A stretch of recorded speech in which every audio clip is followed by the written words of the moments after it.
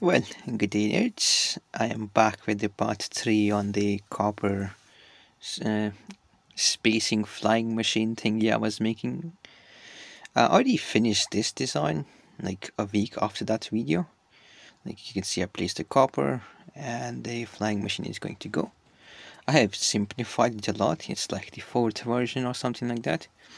Uh, I was planning to add another row of pistons but then I realized I don't require to do that and this way I can preserve the size of the initial machine.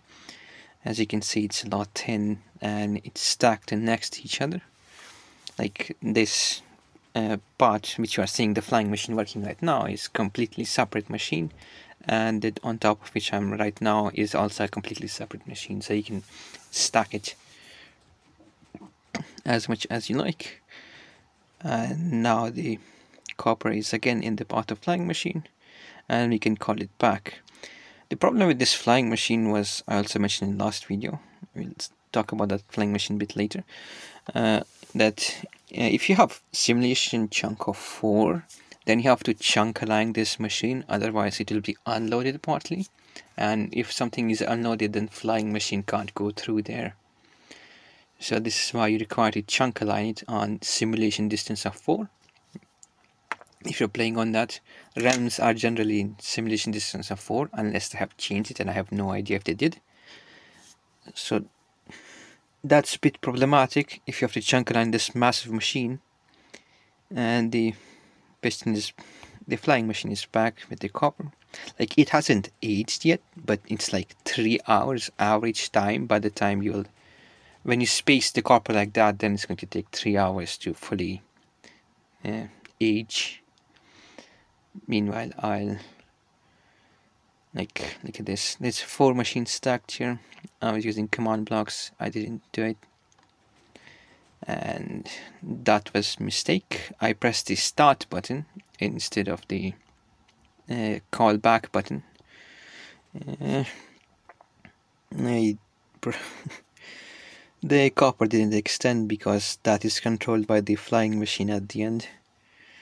Oh well, the flying machine is coming back. So yeah, I like this one more because it's much modular and you can see what's going on unlike the machine on the right which works on simulation distance of 4 you don't require to chunk align it like this one and if this machine is back you can see this weathered copper. I was working on that machine. And this much managed to weather. And point to note here is that the simulation distance of 4 you'll see that copper here is fully weathered but the copper at the end is not fully weathered. Like we can see it over here. Uh, both of the flying machines are working fine I think it would be it will just work fine doesn't create that much lag I think. What I could have changed slightly is when the flying machine go uh, separates the copper block at the start the all of the piston extenders the quote-unquote triple piston extenders all fire at once. I can maybe change that somehow.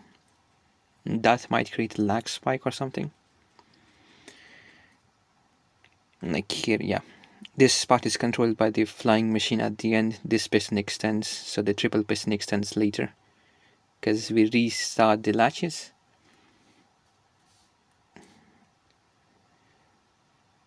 Mm -hmm. uh, you can maybe add another flying machine at the end here when you call all the copper.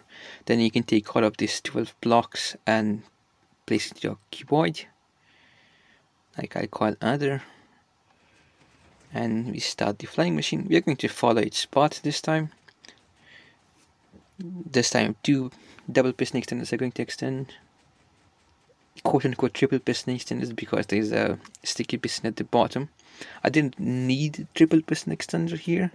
It should be slightly more complicated so I used a quote-unquote triple piston extender. It's just a double piston extender with a single piston extender. As you can see here the latches are on the top like over here. Just one turn into off state the other one turn into off state and now the flying machine is going to restart all the quote-unquote triple piston extenders as you can see.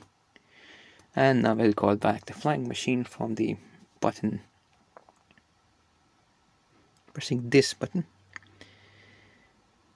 I'll first remove the this copper yeah because uh, it will run into push limit then you'd require to manually sort out the flying machine that would be a bit problematic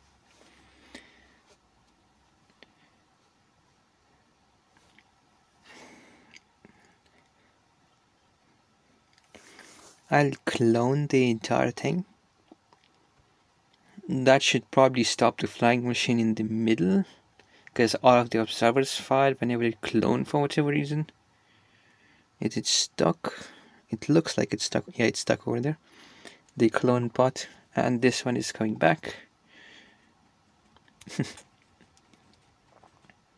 Looks pretty cool. Now let's fix this. We first have to get rid of this piston piston limit from here and then we can go back and extend the piston here so it will start the cycle of flying machine there you go and all of the copper blocks are fully extended. Like I said uh, you require about three hours when copper blocks are spaced like that for them to fully weather.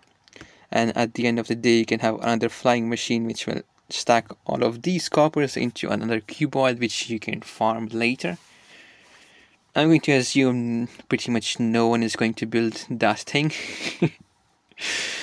Uh, let's go to here here we have different type of design I came up with. This is the first iteration so it's a bit messy I would say. This is fully loaded in simulation distance of 4 Mm, as you can see we are picking copper blocks one by one. There are two flying machines here. This is a bit different. The thing here is uh, the part complicated here is that you have to push copper blocks back in the same position from where you pulled. Why is that not working? Huh piston is here for whatever reason. Maybe I require to extend the uh, pulse extenders a bit. Yeah this is not working at all. The problem with Bedrock Edition is uh, when you have something happening at the same tick instead of having a particular order like you have in Java Edition uh, it order randomizes. So if you have something happening on the same tick two things they're fighting in the same position then one of them is randomly chosen to be the first to trigger. Whereas in Java Edition, uh, the something along the direction is first triggered. If you have a particular pulse and if you have longer pulse then something in different direction is triggered. That way it's more predictable behavior. Here it's not so we, we require to slow down the machine a bit. It doesn't really matter in this case. Let me I don't think the this is going to activate. Let me uh, try to power it with a piston first. Uh, observer. It should pulse. Yeah it's pulsing. Actually extend repeater time. That should work I have to go back and do that over there as well.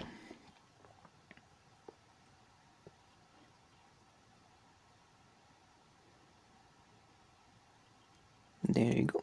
Now that shouldn't break. Test it for luck. And yep.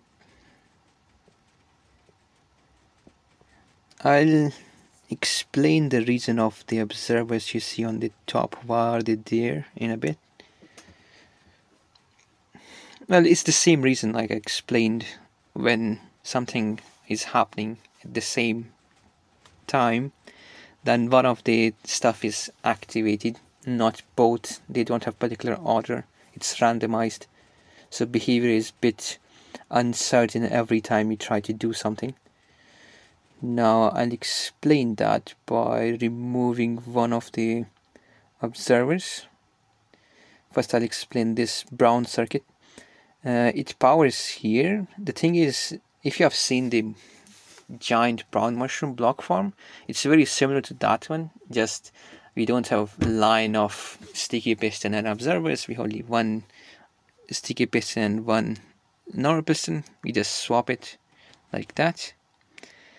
And then we have have to also extend it so the flying machine can fly further by powering that piston on the left that extends that. And then we have this. I'll explain this a bit later in a bit.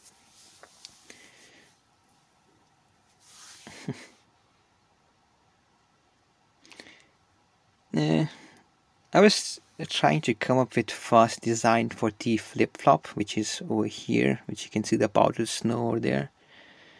And it's not fast enough to activate before the flying machine uh, passes by. So when it pushes the copper block at times it is immovable block and the entire thing gets stuck. So to fix that we have these observers placed on the top and on the left. They force the flying machine to activate anyway. uh, in the earlier iterations, I was trying to do something where it would detect it got stuck and then it will fire, which is a lot problematic. This hack was much better, I would say. So hopefully we can get that uh, immovable block stopping the flying machine effect right here. Yes, we got on the left one and how about the right one? Also on the right one. So now I can explain how the observers bypass this. So you notice how this honey piston uh, not honey piston this honey blocks conveyor has piston right here. You power it to make sure there's room in front of us. So we're not at the piston push limit. And we power this one right here. And if there's room free in front of it, then the flying machine flies anyway. this, however, doesn't affect when the flying machine is flying forward, which is great, because otherwise it would be even more head-scratching moments. Like this took about 8 hours to come up with this. There were several designs before this, and they were trying to detect that the flying machine got stuck which is a lot more problematic and it was a lot slower. This is a lot faster. We just brute force it. We don't care that it's stuck or not. then we have uh, rising edge monostable circuit right here to push the copper block in this mm, back in the position. This way we can like if we want to make it even more um, what is it called not hard but even more cool looking then we can have the like here we are going to use. Like I was suggesting to push these coppers into a cuboid by using other flying machine. In similar manner we can have another flying machine which will pull this piston not piston slime block and honey blocks up and then you can combine that into a cuboid somewhere that would be a lot more complicated. Like this design particularly is not very friendly to make because there is a particular spacing here. Like there is four blocks and here it's five blocks. The reason exactly the same when you push the copper block up uh, it is immovable and honey blocks and slime blocks can slide over it. Now because it can slide over it that is problematic because if we're trying to push back the copper block in the same position from where we picked them up, you can get in it, it can get into a different position where it will uh, be bad because the there would be already block present where the block needs to sit and it will push the entire honey or slime arrangement up. That will break the entire machine. Like here as you can see there was one gap and in that gap that copper block sat. If there was something else then the entire thing would be pushed up and it will break. So that's why we did that. Now of course we can have flying machines here on both sides. We have to first remove those observers because it's at the piston push limit. So we can pull this by slightly up and then we can have another flying machine that will uh, if we can if we'll stack this thing then you can pull off the copper blocks into a cuboid of 12 by 12 by 12 or even larger cuboid Uh, cuboid is the rectangle one. Cube. There you go. yeah. All cuboids are cube if I'm not wrong. Whatever. Well, that's about it. Uh, not really. As I'm just showing here this size difference.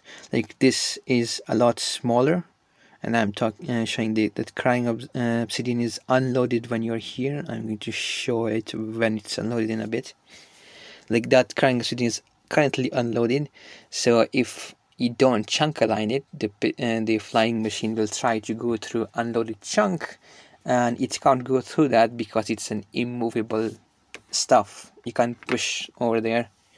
So the flying machine will get stuck. And there's basically no room here to brute force like I did with that design of flying machine.